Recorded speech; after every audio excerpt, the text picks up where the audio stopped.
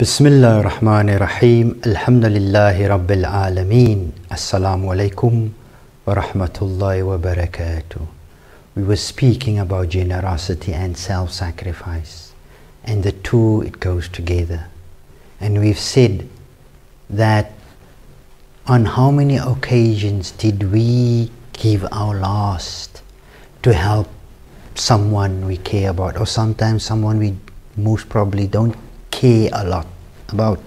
So this form, this action is a form of high form of iman, high form of belief, as we would find it as explained by Imam Ali in Ghurar al-Hikam, where he says, Al-Ithar a'la al-makarim that self sacrifice is the highest form of virtues.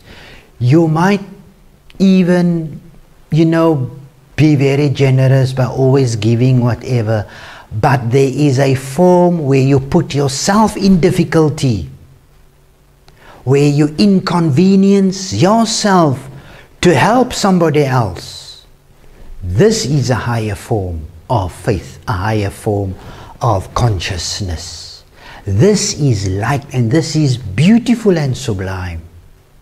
Where may we all be of those who, uh, who develop ithar and who become like uh, and at least follow our masters like Ahlul Bayt salamullah alayhim as we've mentioned about the incident of where they gave where they, where they sacrificed their iftar to give to uh, a poor person, an orphan, and a captive. And the other incident where Hazrat Zahra salamullah alayha she prepared food and they had a and they had a guest who was hungry and they offered the food to the guest and then Hazrat Amir ask Hazrat Zahra to switch off the lamps so that he don't see their situation.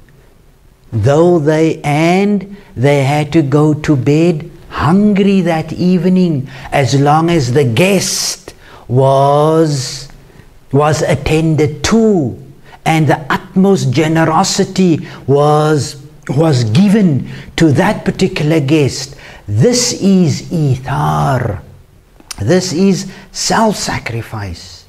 Ahlul Bayt salamullah alayhim, they did not only preach, they lived. They lived generosity. They lived self-sacrifice. And we, inshallah, don't even need to mention where Hazrat Amir, Imam Ali salamullah alayhi, where he slept in the bed of the Holy Prophet on the night of Hijrah, where he offered himself, and there is a holy ayah to that effect as well, praising Ahlul Bayt, salamullah alayhim, that this is the family we need to imitate and emulate. This is the family we need to follow in their footsteps.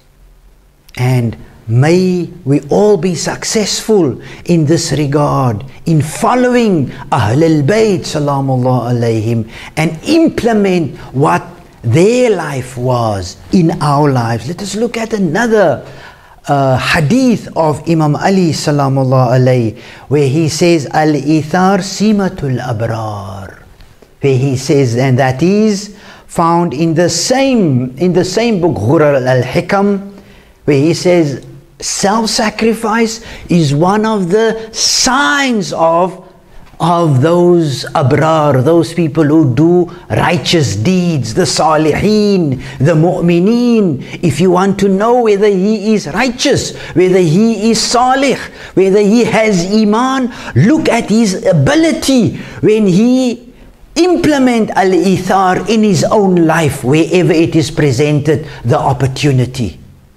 May we all be like those whom Allah has praised and inshallah they are completely at a higher level, at a sublime level and may we follow them inshallah like Ahlul Bayt, salamullah alayhi. May we follow and, and emulate their example. Let us look at another hadith of Imam Ali where he says self-sacrifice is the best kindness and the highest rank of belief, which is found again in the same Ghurar al-Hikam.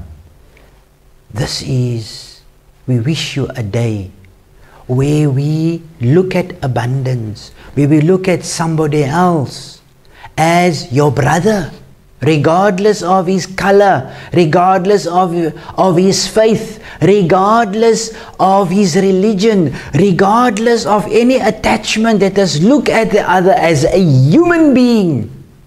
And then when he is in need, we will inconvenience ourselves to help somebody else. May we be like those, inshallah. May Allah help us May Allah make us successful and may Allah shower His blessings upon us and His rahmah. Wassalamu alaikum wa rahmatullahi wa barakatuh.